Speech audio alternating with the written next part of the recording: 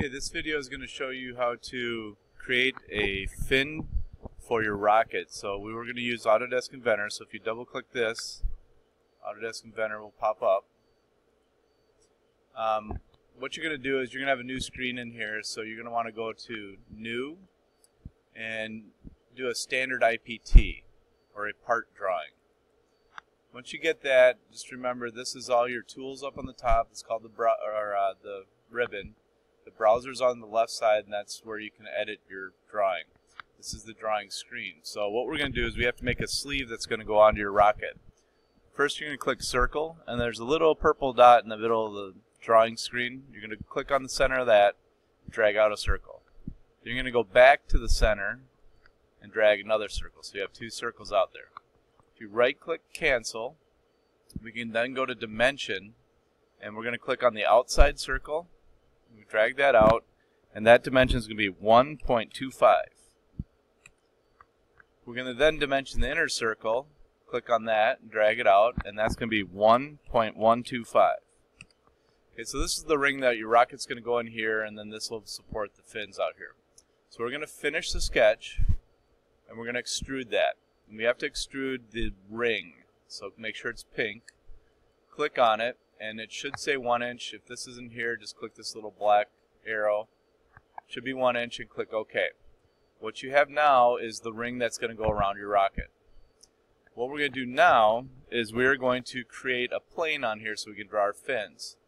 So you go over in your browser, click the plus sign, you're going to find the XY plane, or uh, sorry, XZ plane click on that, and then when you go up to the ribbon, you'll see the plane, and you want to go tangent to surface and parallel to plane.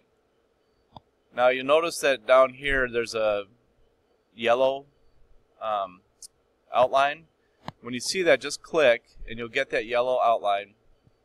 And then we're going to rotate to that, and we're going to create a sketch on that drawing. So I'm going to start 2D sketch, and then I have to click on the outside of this um, box and now I can sketch on there.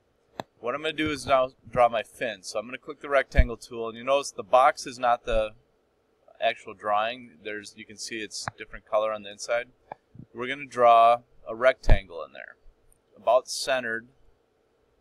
And once you get that drawn from edge to edge, we're going to dimension the thickness of the fin. So click on the top line, drag it up, and that's going to be 0.125 right click cancel and then you can make this fin go a little bit taller uh, so it lines up there. We're going to finish sketch and then we're going to extrude and if we click on this and I rotate with the house button here you'll see it's going on the inside and we want it to come out. So right up here in this box there's a direction arrow. You want to click the one that makes it pop out and then click OK. This little yellow box here we don't want, so I'm going to go over to work plane, right click on work plane, click on visibility. Now, we can change the shape of this, so I'm going to get to the view I can see it in, and then I'm going to start a 2D sketch on that view. Now keep in mind we have to have a flat surface for the 3D printer to work, so when you draw, don't make it a triangle coming out because then it won't be able to print it. So it has to have a flat surface. Make sure you go to the outside of the lines, the purple lines there, and then I can make my shape however I want to have my shape. Okay, right click cancel, and then we're going to finish sketch, and we're going to extrude again, but we're going to extrude the part we don't want. So it's pink, the part I don't want, and I have to go then and cut that and click OK. So now I have one fin on my rocket. Okay. Now, in order to get this all the way around, there's a circular pattern tool on the ribbon. If we click that, it's going to ask for the features. So the feature I want is this, but you notice it's a square. So I'm going to click on that, and then up here there's a pattern solids, and I'm going to click that. Then I have to click the arrow that says rotation axis and then click on the inside of the circle. And now I have my fins going around and I can put the number of fins I want on here. So if I only want three fins, I'm going to click three and click OK. And now I have my, my fin design. Okay? And that'll slide onto my body too. So in order to save this, you're going to go up to iPro and save. And in here, the drop down, the saving menu, you're going to find Class CMW. Yours will look a little different than mine. Rogers, try one, hour three, and you'll find your name.